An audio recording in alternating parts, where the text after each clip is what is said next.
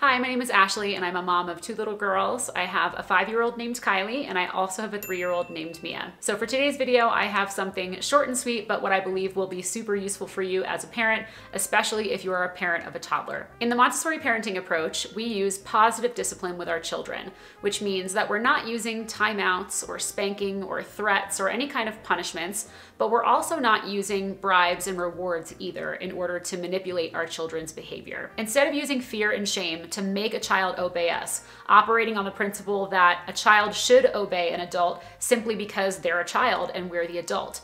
Instead, we really err on the side of mutual respect and trying to find ways to gain our child's cooperation. We are on the same team. So even though you might be completely on board with these ideas already, you might still find yourself stuck at times when it comes to responding to things like your toddler's tantrums, for example.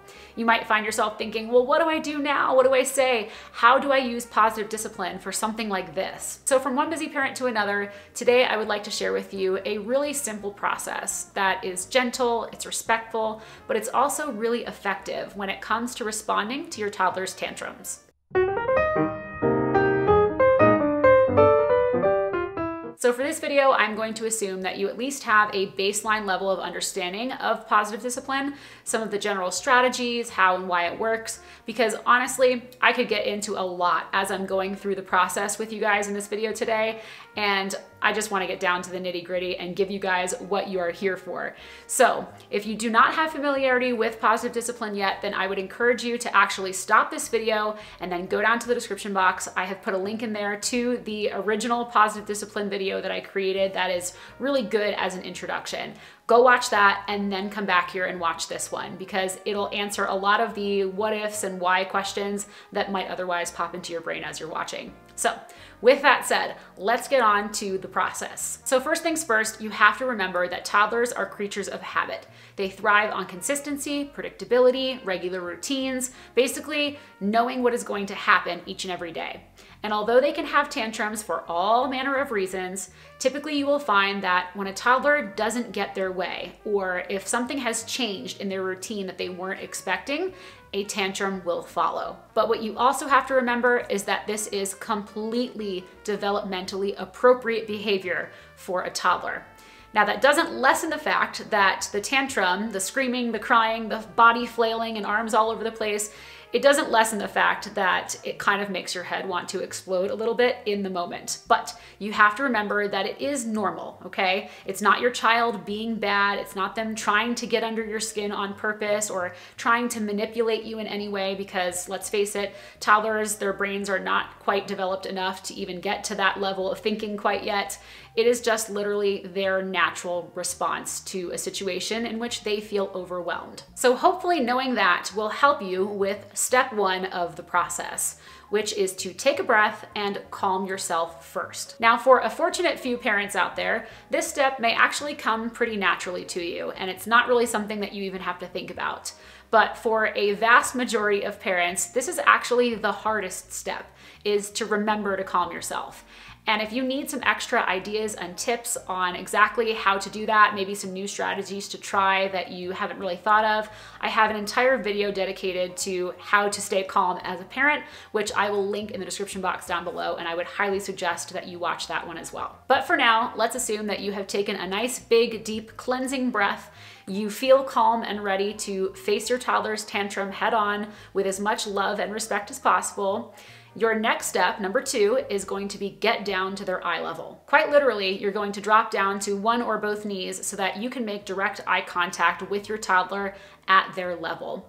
And the reasons for that are twofold. One, you really want to use this moment to try to establish a connection, that loving connection that you have with your child that feels supportive, so that it feels like you're on their team and you're not against them. And the other reason being that when your child is in the middle of a tantrum, their brain is in fight or flight mode.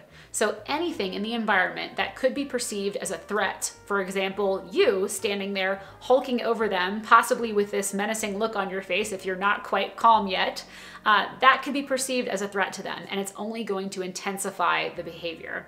So getting down to their eye level is a really easy solution to kind of mitigate some of these problems that you might encounter right off the bat.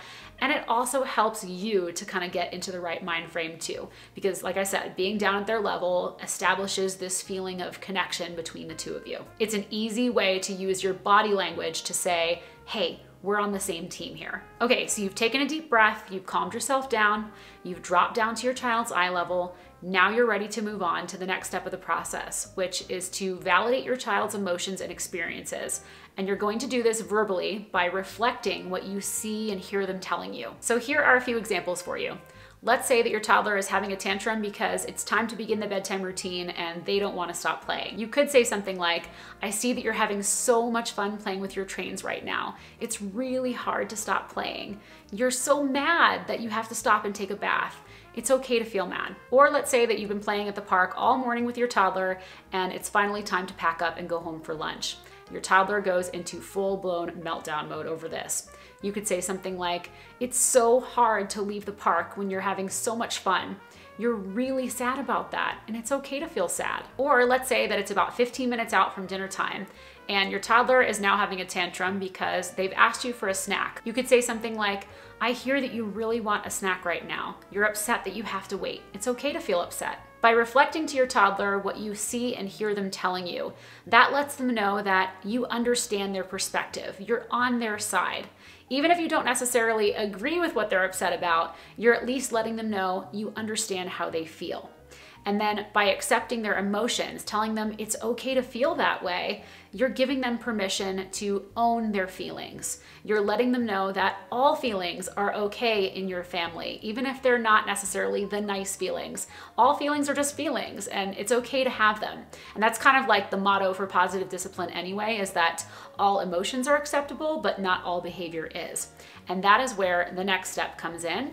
That is to kindly and firmly set your limit. They have to know that you are going to follow through on the things that you're telling them, that you are their strong, confident, but loving leader. So when you tell your child that it's time to take a bath, or it's time to leave the park, or they have to wait for 15 minutes until dinner time and they're not allowed to have a snack, they have to know that no matter how much whining and crying and arm flailing they engage in, that you are going to hold firm on that boundary. They may not like it in the moment and they may very loudly express their discontent with you on that point, but at the end of the day, toddlers thrive on feeling safe and secure, and that is the way that you're going to provide that for them. So, what that might actually sound like, setting those limits in these three examples, would be for the bath time tantrum, it's okay to feel sad or frustrated or whatever word you use, and it's time for bath now. Or in the park example, and it's time for us to leave now. Or in the snack request right before dinner time example, it might sound like, it's okay to feel upset. You're going to get to eat in just a few minutes when we have dinner. And then from here, you're going to move right on into the last step of the process, which is to offer them a choice or give them something fun and exciting to look forward to. So, for example, with bath time, you might say, and it's time for a bath now. Do you want to play with your rubber duckies or do you want to play with your cars in the bath tonight?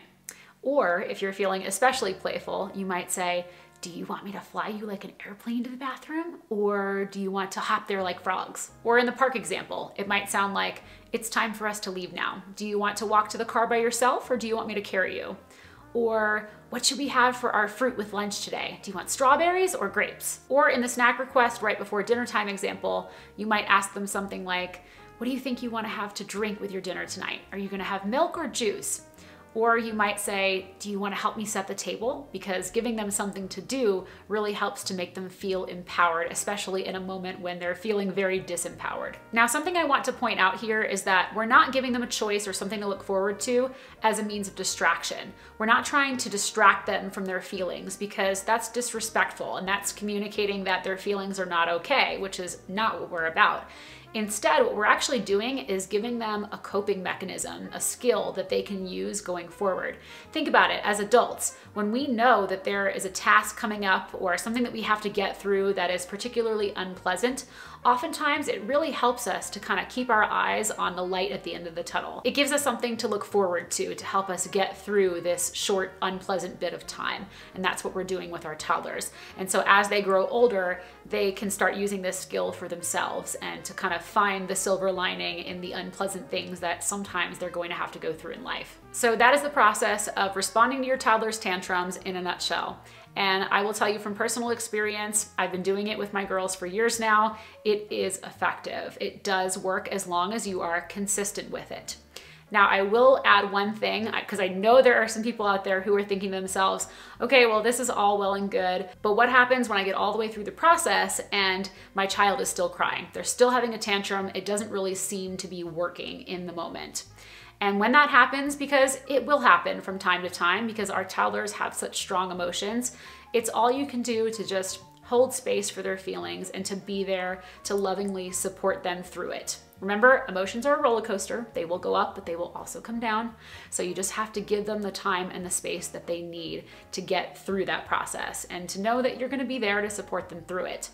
Now, if there's something that needs to happen during this tantrum, for example, you're trying to leave the park and your child is having a tantrum, they don't want to go to the car, you've done all the things and it's just not working, it's okay to very gently use your hands, again, gently is the operative word, to get them into the car, to buckle them into the car seat, to as gently as possible pick them up and carry them to the bathroom and get that bath time routine started. And all the while, you know, they may be resisting you and expressing their discontent and maybe crying through it. You're just gently accepting and acknowledging the feelings that they're having. I hear you. I know this is really hard for you right now. You're just you're there to lovingly offer your support, but you're also gently helping them get through the process because at the end of the day, it needs to be done. All right, friends, so that is all I've got for you today. If you are interested in learning more about Montessori at home or positive discipline parenting, then be sure to check out my new book called The Montessori Home Create a Space for Your Child to Thrive. I also have several e courses and an online community just for Montessori parents. And if you're looking for one on one support, I also offer live video consultations. So I will put links to all of those resources in the description box down below for you to check out. If you're new to my channel, then definitely be sure to check out my entire Montessori at home video playlist, which is aimed at providing practical tips and advice for busy parents like you and I for implementing Montessori at home with our children. So if that sounds like something that you're interested in watching more of, then you might consider subscribing to my channel. This way you don't miss a new video. Thanks so much for watching and I'll see you next time. Bye.